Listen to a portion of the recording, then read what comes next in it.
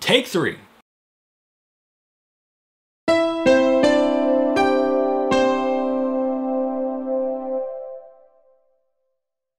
Hello, Evanites, as dubbed by Jack Diamond. My name is Evan, and I am the coffee enthusiast, you already know that. Welcome to my channel.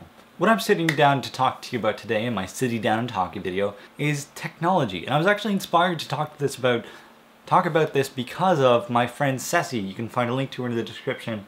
And basically, her thoughts were that technology is kind of taking over. And I feel like that it is, in a way. I, I can see that completely. But I think more than taking us over, technology is empowering us. Because I have been able to create some of the most amazing things and some of the coolest things and, and meet the coolest people that I would never be able to create or meet because of technology.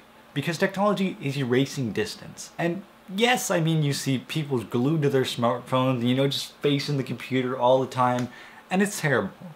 But I think for those people that feel like technology is taking over, what they need to be reminded of is that the sun still rises every day. The sun still sets every day, and it's still beautiful. So I encourage you, for if you feel like technology is taking over, to either wake up really early or stay up really late. It's your call.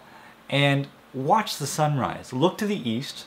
If you don't know which way we, east is, you can find one on your smartphone. I'm sure there's an app for a compass. But look to the east, and then at night, look to the west. Because that same sunrise still happens every day. And that same sunset still happens every day. So I think that will remind you that technology is not taking over us. Like I said, it's empowering us. Technology has done amazing things for people. And I think one of the reasons that we all feel so connected to technology is because down below our survival instincts, like our first human need is survival, but once those are taken care of, then we crave that social aspect. And technology is a way to erase that distance and obliterate it completely and make us feel connected. And I think that's why we love technology so much, is because it makes us feel connected and it gives us that opportunity that we wouldn't have other than that or without it. So that's pretty much my my sits down and talks video, city down and talking video about technology. I hope you enjoyed it. If you have any comments, leave them in the comment section below. There's a video response, and as long as it's relevant, I will approve it probably.